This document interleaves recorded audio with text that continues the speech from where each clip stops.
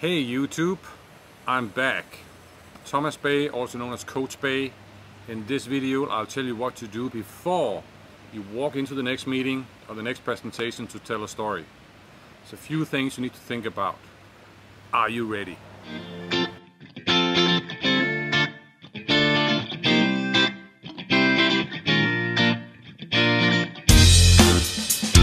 Hey YouTube, I'm back. In this video I'll talk to you about what you do before you go into the next meeting, next presentation, before you tell the next story. What do you need to think about? Few people think. When I see people at work today, I see them frantically working on their PowerPoint deck even as they walk into the meeting where they're going to present. Few people really take the time to sit down and think about who is in the room, what do you want to say, and why the hell should these people care about my message? I still see a lot of pushing. Look at me, I have this amazing thing, it's the best in the world. I don't care. I care about what you can do for me and I care about you thinking about me. So, what do you do? I call this know your purpose. So before you go into the next meeting, presentation, room with people that you want to talk to, influence, think about your purpose. Three things to think about. Number one, who? Who is in the room? Are you talking to a senior people, senior team of people, the executive board?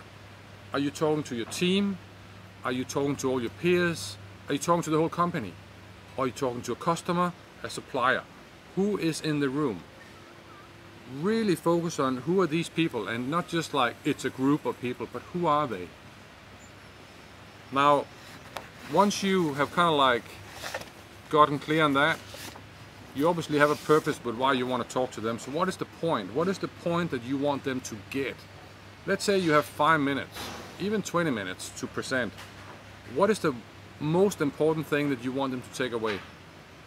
What is the key point that you want them to think about when they go home, have dinner with their spouse tonight, talking to their kids? What is the one thing that will stay in their mind? What is the one point that you want to kind of like put into their brain so they'll never forget? And once you have that, then you ask yourself, why should they care? Why should they care about you and your point that you want to make? I mean, these are busy people. And nowadays with our phones and emails and, and constant long queue of people who want our attention, you're competing uh, with everyone else. So why should I listen to you? Why should I care about the point you want to make? So again, you want to think about something that can help me, not just because you think it's important. So let's say you're talking to your team and you want them to work faster, move faster. You want to tell them a story not just about how they can work faster, but at a time in your life where you went through something that showed you that if you get things done faster, there will be rewards. If you work faster, you can go home at 5.30. Now, unless you work in Silicon Valley and you work 24-7, a lot of people would appreciate if they can leave early. I remember years ago I was looking at Atlassian, the software company from uh, Australia, Atlassian. They do a lot of software for big companies. And one of the things they do is they have this help desk. And the tagline is something along the lines of, we help your IT people leave early. I'll say that again. We help your IT people leave early. Now that is very concrete, it's very specific. And if you came to me and said, I will help you leave early, I will help you make more money, I will help you get a promotion, I will help you be more successful and your boss will notice. All those things is about me. So before you pick your story, you want to sit down one more time and you want to think about who are the people in the room what is the point you want to make and why the hell should they care right? So before you go into the meeting, spend a bit of time on knowing your purpose.